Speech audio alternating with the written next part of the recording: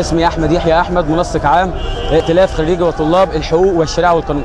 إحنا جينا النهارده علشان نطهر القضاء. القضاء ده حضرتك مرفق عام مش وصية للقضاة بيعينوا في ولادهم يحكموا ببراءات زي ما هم عايزين مفيش حاجة عندهم حاجة اسمها الصالح العام.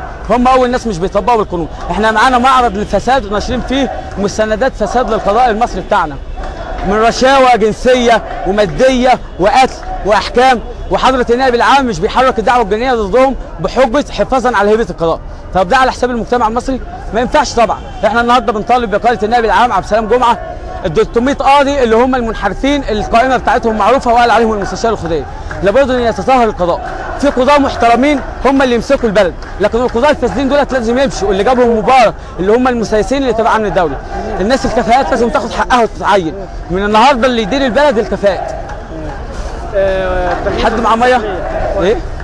تغيير وزير العام الجديد. هل ده ما تغيرش الجند زي ما هو. جن زي ما هو؟ هي نفس سياسة مبارك كان بيخلي وزير الداخلية ووزير العدل. نفس النظام. شرف خلي وزير الداخلية ووزير العدل برضه. طب أنتوا إيه بقى ال- السقف بعد كده؟ إيه المطالب يعني؟ هل في وقفات تانية؟ إحنا النهارده برضه إحنا عملنا مسيرة لحد وزارة العدل. آه. وجينا النهارده لدار القضاء العالي. والساعة 6 إن شاء الله هنيجي هنا تاني لدار القضاء العالي. الشعب المصري مش هيضحك عليه.